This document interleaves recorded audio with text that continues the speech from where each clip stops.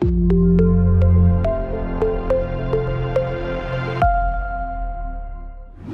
everyone! Today's lesson from Health Ed Solutions is on emergency medical services. Don't forget to visit us online at healthedsolutions.com to certify or recertify your ACLS, PALS, BLS, or NRP 100% online. Now let's get started. The second link in the STEMI chain of survival pertains to the actions of the EMS providers. They perform rapid diagnosis, treatment, initial stabilization, and eventual transport of patients to a capable facility. They support the patient's airway, breathing, and circulation. They should monitor the patient's vital signs and obtain a 12 lead ECG. They may need to perform CPR and rapid defibrillation in patients suffering cardiac arrest. Oxygen Initial pre-hospital therapies must include oxygenation and ventilatory support when necessary. Oxygen supplementation is titrated to maintain an oxygen saturation of 94% and above. This is especially important when the victim shows signs of heart failure, respiratory distress, or low oxygen saturation, less than 94%, or if arterial oxygen saturation is unknown. Aspirin a common pathophysiologic effect of ACS is thrombus formation that causes significantly diminished perfusion to certain portions of the myocardium.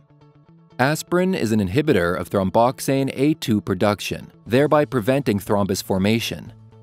To stabilize these patients, providers can give 160 mg to 325 mg of aspirin to inhibit platelet function and prevent coronary occlusion. Aspirin should be chewed by the patient, Aspirin suppositories are also available if the patient cannot chew. Providers must question the patients about the presence of comorbidities that are contraindications for aspirin therapy. Blood dyscrasias and gastrointestinal bleeding are examples of contraindications.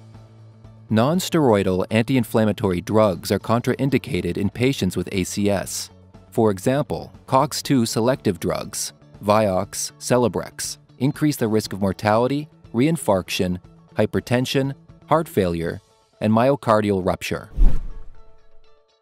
Nitroglycerin Nitroglycerin is used to improve myocardial perfusion by dilating arteries and veins.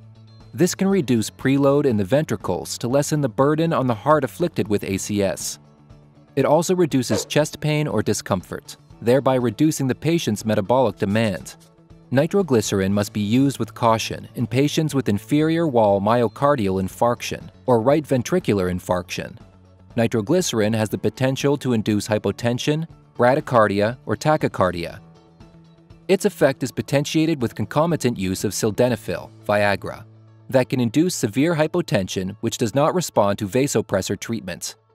Therefore, it is important to question patients regarding their use of erectile dysfunction medications. Opiates Morphine is an opiate that provides relief from chest pain and anxiety. Anxiety worsens the symptoms of ACS because it increases the patient's metabolic demands. Its vasodilatory effects reduce left ventricular preload and left ventricular afterload.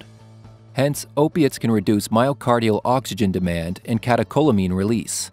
It also helps to redistribute blood volume in patients with acute pulmonary edema. Box 3 The third link in the STEMI chain of survival corresponds to the immediate assessment and treatment which occurs in the ED, emergency department. Once EMS has brought the victim to the ED, the first 10 minutes is crucial. The EMS responders should promptly report their findings and any interventions provided to the ED team. The team will obtain vital signs, hook the patient up to a cardiac monitor, check the patient's oxygen saturation, and establish intravenous access if not yet performed by the EMS team. They review and perform a targeted clinical history and physical exam. The ED team also completes the fibrinolytic therapy checklist, asking the appropriate questions to determine if the patient is a candidate for fibrinolytic therapy. Other valuable information such as blood work, cardiac markers, electrolytes, complete blood count, coagulation studies, etc., must be obtained. A chest x ray should be obtained in less than 30 minutes. If not done in the pre hospital setting, the ED team must provide oxygen supplementation, aspirin, nitroglycerin and or morphine, as well as any other treatments deemed necessary. The team must ensure there are no contraindications to these therapies. That's it for our lesson today. Thanks for watching and remember to check out our website at healthedsolutions.com for free content or to get certified or recertified online.